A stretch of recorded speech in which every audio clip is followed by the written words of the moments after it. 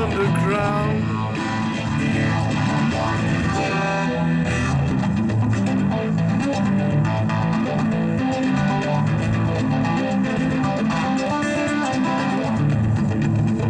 You told me something like. Everything you